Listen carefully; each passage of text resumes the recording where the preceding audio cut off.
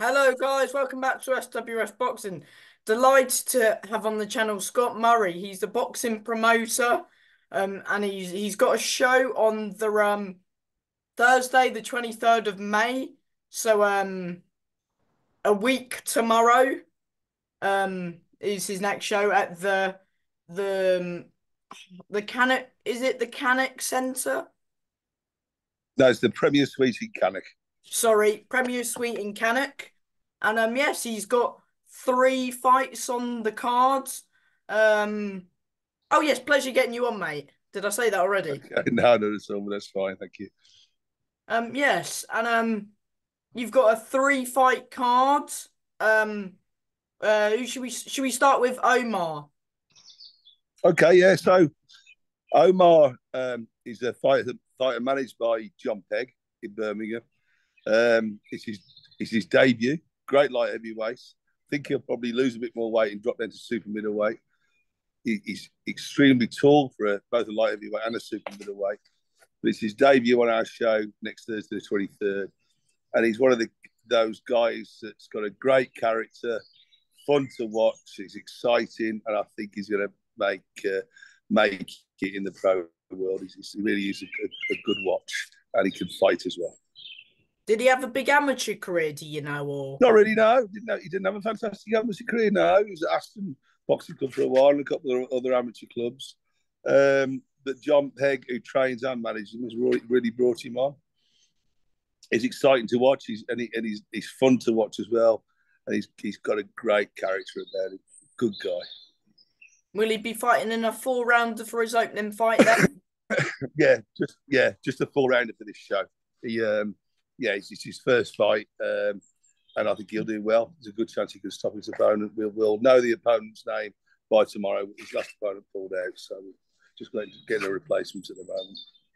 oh, good stuff. Um, yeah, you've got another uh fight with Zach Evans. You do like I've seen Zach's been on a few of your shows. He's fighting Connor Meanwell, who's uh, a very good fighter who goes in the away corner but comes for a good tear up. He does come for a good tear up, and I think it's a bit of a test for Zach. Um, Zach's great welterweight from Cannock, uh, good lad, uh, an ex kickboxing champion as well as an amateur boxing champion. A really good pedigree. Got through to the semi-finals of the Haringey, and um, I think he, he's he's going to be good. He fought on our last open show last month. Uh, knocked his stopped his kid in the second round, knocked him down, and the referee stopped the fight. He's exciting to watch, um, and I think he's going to go a long way. You know, I think we'll have him fight for an English title later this year. He's certainly on the cards there to, to make a bit of a, an impact in the Midlands. You're keeping him quite active. Is that what you're trying to do with Zach? well, yeah, um, Zach's um, signed under us as a promotion deal. He's also signed with John Pegg as his manager. He's got a different trainer. Um, Uh, and yeah, the idea is to keep them active. I think there's nothing worse than seeing fighters only having who are not world champions, only having two or three fights a year. I really, I'm the old school type. I think fighters should, if they're up and coming and prospects, they should be having between four and six fights a year, and they've got to be busy.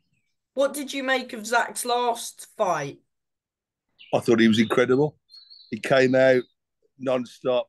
He's a strong puncher, and as I said, he he, he knocked this kid down who hadn't been knocked down before, and uh, referee stopped the contest. He was in no fit condition to go ahead. Um, you know, a, a, a, tough opponent from Bulgaria who came to, to, to beat Zach. You know, it wasn't just a walkover. It was a good fight. Was it Petr Alexandrov that one? he was, yeah. Um, who, um, who who who came, you know, who, who, came for the win. He didn't come just as a journeyman, and uh, he didn't want to continue. Zach hit him that hard. Uh, he just didn't want to carry on. So yeah, referee stopped the contest. Yeah. And um, yeah, a little bit of a step up, as you said, against Connor Meanwell. Um, what do you know about Connor? Of, of course, it's a sort of 50-50 sort of record, but it's um he's a good opponent for him, and he should be a good test. And Connor won't come to lie down; he'll come to win. I think you're right. Uh, I think it'd be great. It's a great test for Zach. Um, he's uh, this kid's keen. It's another little bit of a step up for him, and uh, but I think you know, I think you'll see Zach stop him again. I think you know he's a strong kid. Uh, all those years of kickboxing and the amateur boxing game as well, I think it's given him good, good, uh, good stead for the pro game, and he's now being fine tuned. And as I said, I think we can see Zach go a long way. Mm-hmm. Um, is that a six rounder or? Excuse me. Yeah, just a six rounder. Yeah. Yeah. And how many six is that going to have before maybe moving to an I, eight or, you know, take one I, fight at a time? Yeah, I think he'll probably have one or two more six rounders and then we'll move him up and then we'll look for an area title challenge for him at, at either Midlands or English title. So obviously suddenly he's up to a 10 rounder, really. So yeah, be, uh, be interesting. But I think he's got it, really do. And he's, he's a good guy as well. Uh, one of the nice guys in boxing. Mm-hmm. Um, yeah, and you've got um, River Wilson Bent uh, Jan, uh, Jan Arden. Yeah, River. Uh, he's a bit of a veteran now. River still stylish, looks good. Uh, nice comeback fight for him. I think. Um, I think he'll look good on the night. It's a six rounder again, um, and uh, John's trying to guide him back and get him back on top. But yeah, it's always a pleasure to watch River and again a great character of the sport, um, who uh, who on the night can look great. You know, he, he's, he's stylish, cool, and uh, yeah, I think he'll he'll come away with a good win on on next Thursday. Hopefully, mate. I mean, yeah, I mean he's if you look at the people he's fought and a former Midlands area champion, you know, former English uh, challenger, which I believe, you know, he, he was unlucky not to win the English. He put up a great fight against, you know. He was, yeah, you're very true. Very right, yeah. Yeah, I mean, the yeah. f- fighters he's lost to, Ammo, Hamza, Tyler Denny, and um, forgot the other one. but yeah. But yeah, he's, he's been against the best. Um, uh, you know, he's lost against some good guys. Like you said, he's been unlucky in the past, but great to watch. And a great entertainer. Oh yes, he, he is. He is. The other one was Kelly, but that was another close fight. But yeah, I think his last fight he got a bit unlucky. I thought he nicked it just, but I think uh, it's it should be a big year for River to push on and hopefully try and get back into title contention. Yeah, yeah, I think you're right, and that's John Pegg's uh, sole objective with, with uh, River to get him back on track. Uh, John's a great matchmaker, by the way, and manager. Sorry. Yeah. I was going to say, yeah. do you work with John quite a lot then? Yeah, John. So John's our main matchmaker. John Matt is our matchmaker for all of our shows, and um, he's probably one of the busiest matchmakers in the country, and certainly one of the busiest managers in the country based in Birmingham. I can't remember how many, how many boxes he's got under his belt now, but it's a hell of a lot. And uh, very successful and passionate about what he does. Yes. Um, and is River fighting in a six rounder, yeah? He is, yeah. Another six round of a River. What do you know about his opponent? Not a great deal. John's looked into him. I think he's tough, comes through a good fight. There's a chance River might stop him. I think more likely they'll probably good on points. Mm. So it'll be a full six round fight. But, but let's see. See we will see indeed, mate. And fingers crossed, three home wins. Um, and a good night of boxing. Um, yeah, talk about uh that your um well the people who are well your sort of special guests uh that are coming on well helping. Okay, so for all of our Excelsior shows, um, the Excelsior Sporting Club, they're hosted by Steve Bunce, who everybody in the boxing world would know, um, former super middleweight champion of the world, Richie Woodhall, who's only from Telford, and our special host um, and guest for this show, who's been with us numerous times over the years, is Ray Boom Boom Mancini, uh, an international boxing Hall of Fame inductee, boxing legend, and uh, who's got an incredible life story. No one's ever seen his life story. Look up The Good Son, an incredible documentary film about Ray Mancini. And a good guy as well, a boxing historian, knows his stuff, great entertainer. and he likes to mix with the crowd as well. So yeah, it's, it's a hell of a good lineup. Uh, plus, you know, we're getting a few other celebrities there that come as guests, so it's it's nice. It's nice shows, you know. We'll have a few. I mean, celebrity uh, restaurateur chef Glynn Purnell has been a regular in the past.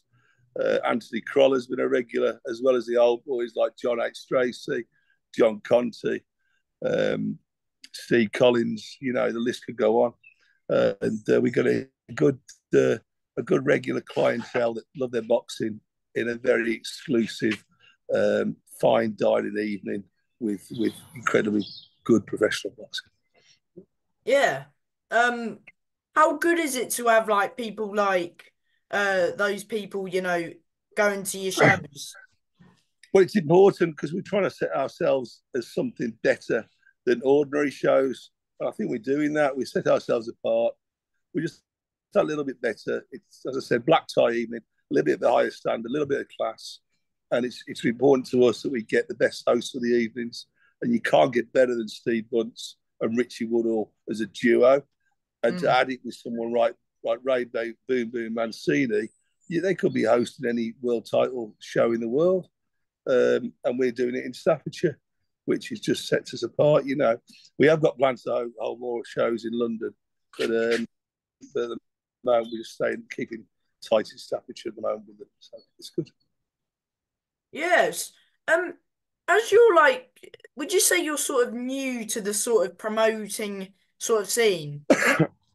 um, okay, so my background is I, I was an amateur boxer myself, um, and over the years we've hosted literally hundreds of shows with um, sporting celebrities, and certainly you could probably name any boxer in the world apart from Mike Tyson who can't get in the country and Muhammad Ali. We probably have every boxing superstar as a guest at our venue in Cannock over the last 20, 26 years um, that you can that you can name. So if you name the Four Kings, we're the only venue in the UK, one of the few in the world that have had marvelous Marvin Hagler, Sugar Ray Leonard, Roberto Duran, and Tommy Hearns all at the same venue. The list could go on. So I'm not shy or new to promoting shows. I am new to promoting professional boxing. Uh, we started uh, a year and a half ago for the first Excelsior Sporting Club show. But prior to that, we've literally hosted hundreds of amateur shows at our venue at uh, Bar Sports Premier Suite in Cannock. So again, not not new to boxing at all, but yet new to professional shows uh, and enjoying every step of the way. So it's good. It's good. Didn't fun. you have Royston Barney Smith on an amateur show once? I'm sorry, sir. I lost you then. Did you have Royston Barney Smith on an amateur show? Or I don't know, possible. I mean, we've had hundreds, literally hundreds. I mean, Adam Azim fought on one of our shows before he turned pro. I think it was an official England v Scotland show. Um, yeah, Delicious Orie fought on, on, that show as well against uh, one of our heavyweights, Nick Campbell, who's the Scottish champion. And Nick's but Nick Campbell boxes on our show. So what happened it's with good the possibility. Nick, sorry to interrupt. What happened with the Nick Campbell Jose uh, Jose uh, fight?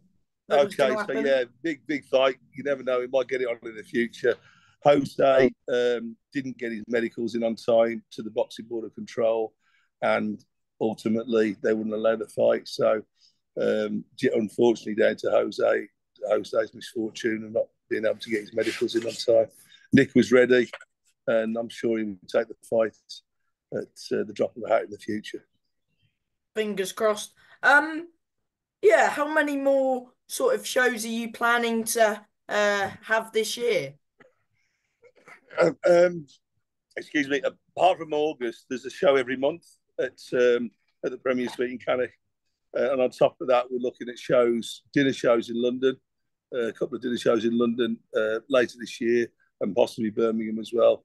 Uh, some bigger open shows in Birmingham. Yeah. So, what? Where are we? So at least six shows this year.